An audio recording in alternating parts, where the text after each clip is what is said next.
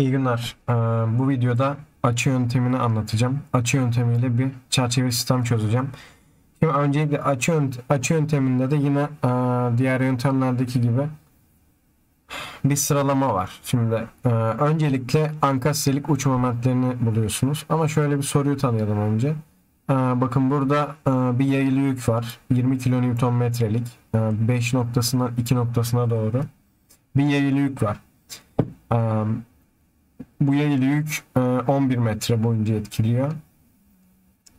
Onun dışında bakın e, 4 I'lık bir rigidlik var e, bu çubukta. Bu çubuktaki rigidlikte dikey çubuktaki hmm, I rigidliğinde bir çubuğumuz var. Buradan 30 kilonewton etkisi var. Buradan 20 kilonewtonluk bir düşey yükümüz var. Şurada da tam ortadan 80 kilonewtonluk bir düşey yükümüz var. Şimdi öncelikle ankasyelik uç momentlerini buluyoruz. Geldim buraya ankasyelik uç momentleri diye.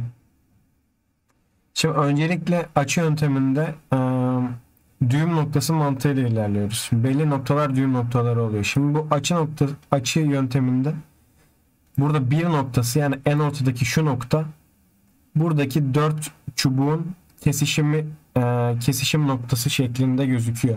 Şimdi burada belli bir dönme olacak. Ben buradaki dönmeden yararlanarak moment diyagramını çıkaracağım. Şimdi böyle olunca e, bir tane e, şeyimiz olacak demek ki bu şeyde. Bir düğüm noktamız olacak. Başka iki düğüm noktalı, üç düğüm noktalı, yüz düğüm noktalı çok farklı örnekler olabilir. Ben burada e, sürede çok uzamasın diye tek düğüm noktalı bir soru tercih ettim. Şimdi geliyorum. Burası düğüm noktası ya. Düğüm noktalarını her zaman ankastre olarak düşünebilirsiniz. Yani düğüm noktaları ankastreymiş gibi, ankastre mesnetmiş gibi e, hesaplamanız gerekir. Ankastrelik uç momentlerine. Şimdi geldim buraya. 1 ile 2 arasında bir ankastrelik uç momenti olacak. E, tabii 2 1 arasında da olacak. Çünkü 1 2 2 1 iki tarafta da bir ankastre olduğu için düğüm noktası ankastre demiştim. 2 noktasında zaten ankastre var. Burada bir ankastrelik uç momenti oluşacak. Geldim buraya dedim ki e, o zaman ben bu, buradaki ankastre uç momentini nasıl hesaplayacağım? Tablodan. Şimdi tabloya gidiyorum. Geldim burada. Ankastrelik uç momentleri çizelge 2 4 1 demiş bana. E, şimdi burada e, nasıl söyleyeceğim? Öncelikle 1-2 arasında ne var diye bakıyorum. 1-2 arasında ne var? 1-2 arasında bir yayılı yüküm var. Bir de tekil bir 80 kN kuvvetim var. O zaman e, yayılı yük için ne yapabilirim diye bir bakıyorum. Diyorum ki yayılı yük için ne yapabilirim? Ben şimdi iki tarafta ankastre olduğu için şu ilk şeyi seçeceğim. Yani bunu seçeceğim. Ha. Ben bunu seçeceğim. Şimdi bunu seçeceğim. Ee, peki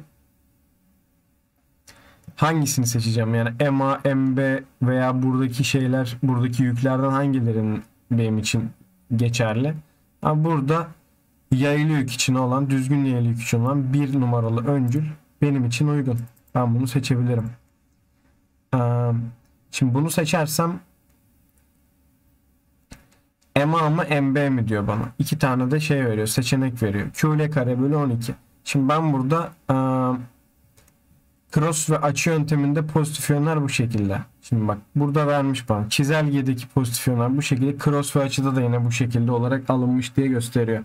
Ama mesela e, biz açı yönteminde bakın hep saat yönünden çalışıyoruz. Yani saat yönüne dönüyormuş gibi çalışıyoruz. Yani burada da yine ben saat yönüne dönüyormuş gibi çalışıyor olmam lazım. Bak bu taraf saat yönüne dönüyor ama bu taraf saat yönün tersine dönüyor gördüğümüz gibi. O yüzden e, burada bir değişik bir durum oluşuyor. Bakın burada MA'ya gelmişim demişim ki mesela e, V1-2'ye İle kare bölü 12 demişim. Yani 1'den 2 olan şeylik yani bir noktasındaki e, ankasyelik uç momenti Q ile kare bölü 12 demişim. Burada çizelgede hmm, eksi q ile kare bölü 12 diye vermiş. Biz çizelgenin sol tarafında kalan kısımları yani şu tarafları artı olarak düşüneceğiz. Yani bu burada eksi yazmasına takılmayın. Zaten sonunda de- değiştireceğiz. q ile kare bölü 12 olarak alıyorum. Bunu da eksi q ile kare bölü 12 olarak alıyorum. Sol taraf işaret değiştiriyor. Yani buradaki bütün değerlerin baş eksilerini artı yapabilirsiniz. Cross yöntemi için geçerli bu. Bakın burada çünkü ona göre verilmiş. Şimdi burada geliyorum Q ile kare bölü 12 demiştim yazdım. Zaten bak V 2 1 o için eksi olarak yani başına eksi koyuyorum. Yani şuradaki eksiyi alıyorum. Anladınız mı? Sonra geldim artı dedim. Bu sefer tekil yük için işlem yapacağım. Tekil yük için geldim. Tekil yükü buldum. Dördüncü öncül tekil yük. Dördüncü öncülde tam böyle L bölü 2 L bölü 2'nin arasından bir P yükü etki etmiş. Burada bakıyorum 4 metreye 4 metreden yine bir P yükü etki etmiş. Yani bizim aradığımız seçenek bu aslında. Şimdi geldim burada yine bu tarafı 1 e, bölü 8 PL olarak alıyorum. Geldim buraya e, PL bölü 8 olarak yazdım. Çünkü neden bunlar artı demiştim zaten. Bu tarafta eksi 1 bölü 8 PL olacak. Bakın bunun eksisini almadım. Ee, sol tarafları almıyorum. Şimdi geldim hmm, Q kare bölü 12'de de Q yüküm ne kadardı? 20 kNm'ydi yazdım. L kare ne kadardı? Ee, buradaki L uzunluğu 8 metre görüyorsunuz. 1-2 arası. 8'in karesini aldım. 12'ye böldüm. Ee, onun dışında PL bölü 8 olarak bir değerim var. P değerim 80 kN'du. Onu yazdım. Buranın toplam uzunluğu yine L uzunluğum 8 metreydi. Onu yazdım. Bölü 8'e böldüm. E, ve birikim değerim 186,67 kNm olarak bulundu. Şimdi V15'i bulacağım. V15'e geldim. 1.5 neresi? Buradan bu sefer buraya doğru. Şimdi V1.5'te herhangi bir ankastrin mesnet durumu yok. Yani bir mesnetlenme durumu yok. 5 noktasında bir mesnet yok. Burasını konsol gibi düşüneceğim o yüzden. Diyeceğim ki yani burası gerçekten hani şey olsaydı nokta olsaydı o zaman ne alırdım diye düşüneceğim. Şimdi 1.5 e, noktası burada aslında e, kritik bir nokta. Bunu konsol olarak düşünmezseniz e, yani şuradaki tablodaki değerlere göre işlem yapmaya çalışırsanız sıkıntı yaşarsınız. Şimdi geldim burada başına önce bir eksi koydum. Neden eksi koydum? Şimdi bak bu bu tarafa doğru çeviriyor. Değil mi? Bu bu tarafa doğru çeviriyor. Ee, benim açı yöntemim ne tarafa dönüyor? Bu tarafa doğru dönüyor. O yüzden geldim buraya eksimi koydum. Ee, onun dışında başka ne yapabilirim? 20 çarpı 3 diye şuradaki tekil yükü etki ettirdim. Burada bildiğiniz moment alıyorsunuz. 20 çarpı 3 şeklinde bir e, şeyim var. Yani bunu şey olarak da düşünebilirsiniz. Neden eksi aldım diye. Az önce onu düşündüm. O yüzden tekledim. Ya burada hani yani e, tam şu noktadaki moment ne diye düşünürseniz hani şöyle bir e, şey olacağı için e, özür dilerim. Bir dönüşü olacağı için şimdi buradaki şeyin yani tam olarak bu buradaki şeyimle aynı olacak. Yani şuradan keserseniz yön okları bu tarafa doğru olacak. Yani saat yönün tersine bir ok olacak. Bu da saat yönünün tersine döndüğü için aynı yöne bakacak. Aynı yönde eksi alıyorduk. Ya öyle de düşünebilirsiniz. Şimdi 20 çarpı 3'ten tekil yükü etki ettirdim. E, artı olarak da burada yine bir yayılı yüküm var. Yayılı yükümü de e, 20 çarpı 3'ün karesi bölü 2 olarak etki ettirdim. Neden? Çünkü e, 20 20 kilometre çarpı uzunluk 3 metre bir de uzunluğun yarısından e, tam bunun ortasından bir moment etkileyecek. 1.5 da ondan çarptım. Yani 3 bölü 2.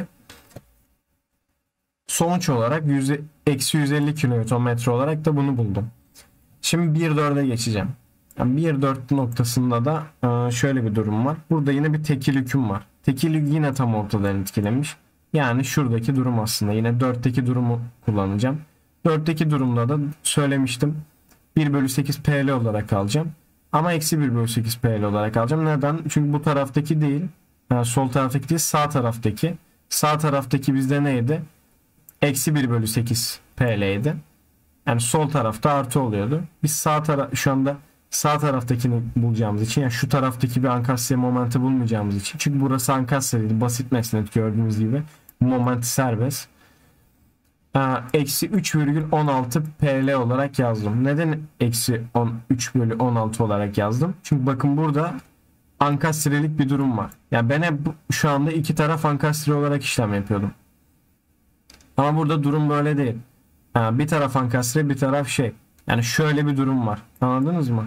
Yani bunu yatay olarak düşünürseniz eğer yatay olarak düşünürseniz sağ taraf ankastre sol taraf basit mesnet.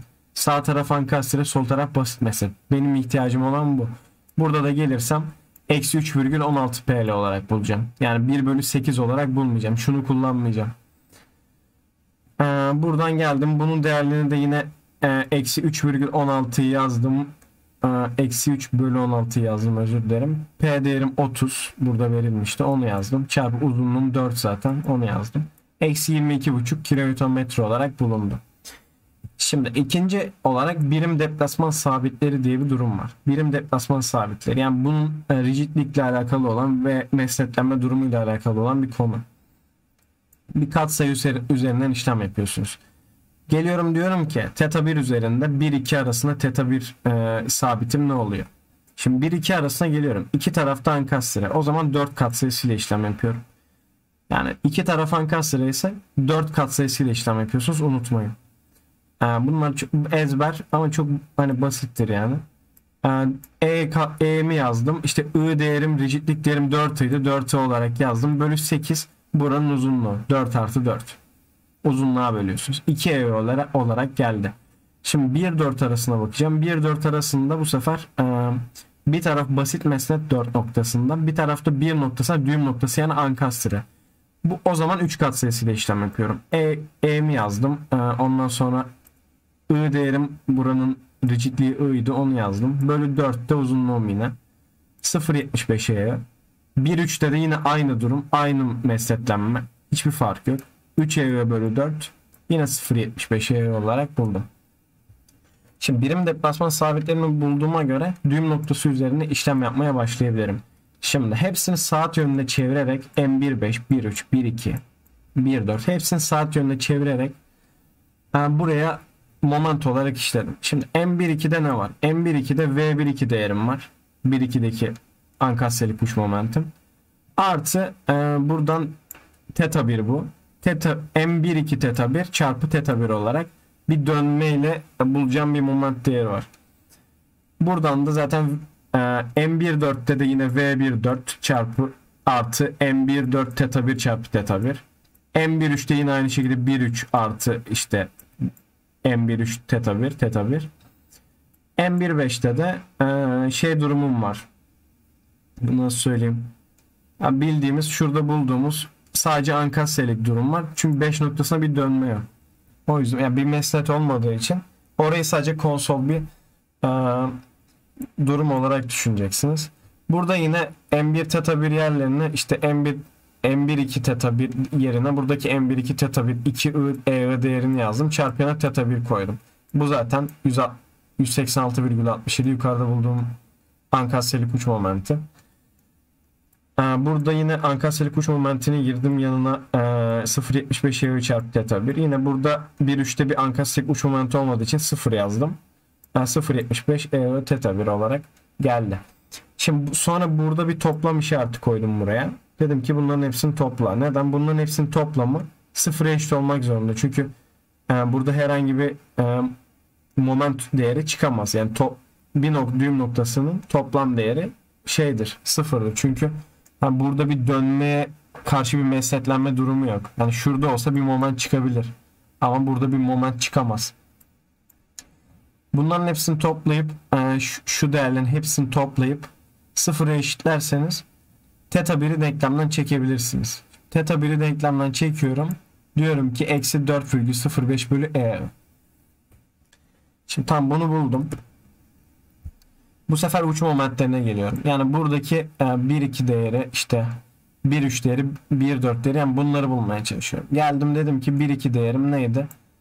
1.86 186,67 artı 2 EO bu da teta 1 değerim. Bak teta 1 değerini yerine yazıyorum. Yani şurada şuradaki değerlerde bildiğiniz e, şu e, 186,67 artı 2 EO teta 1 var ya buradaki teta 1 değerlerini yerine yazıyorum. Yani 1.4'te değerini yazıyorum. 1.3'te de 1.5'te zaten yazacak bir şey yok. Yani 1.4'te de yazdım. 1.3'te de yazdım. 1.5'te zaten bir şey yoktu. Şimdi 2-1 durumu var. 2-1 yani buradaki e, iki noktasında da bir ankastre olduğu için burada da bir moment olacak. Ben bunu da bulmak zorundayım. Burada da 2 katsayısı oluyor. Yani e, 2 e bölü uzunluk. Yani oradaki uzunluk 8'di biliyorsunuz. 1-2 arasında. Yani buradaki ankastrede 4 oluyor.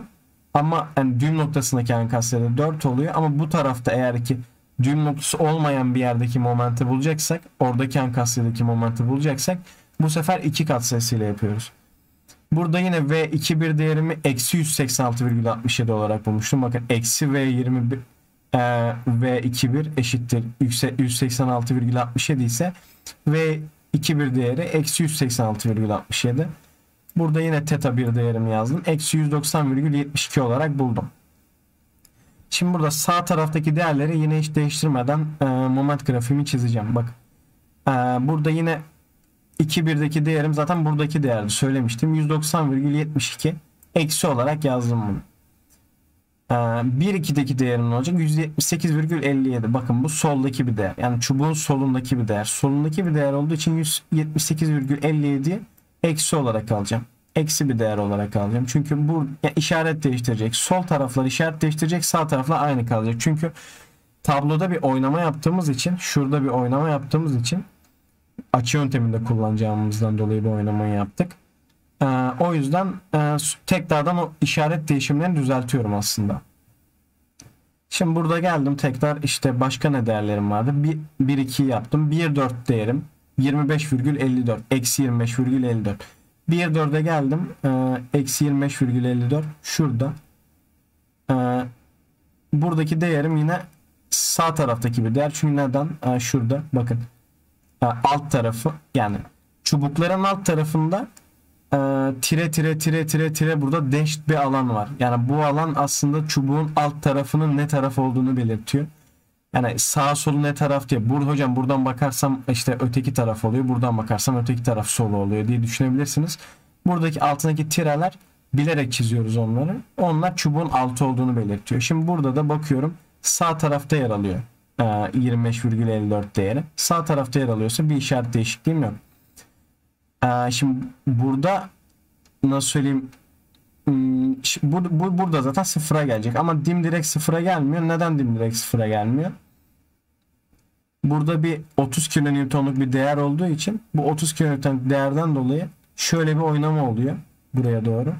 Tam olarak sıfıra gelmiyor. Bu şekilde sıfıra dönüyor. 17,3. Yani bunun hesabını yapmadık. Yani diyagramda olduğu için yazdım farkı görmeniz için. Hani bu tarz e, hesapların nasıl yapılacağını yine gösteririm ama hani bu video çok uzamasın diye onu göstermedim. 17,3 değerini bir yerden bulmadık yani. yani nereden bulduk demeyin.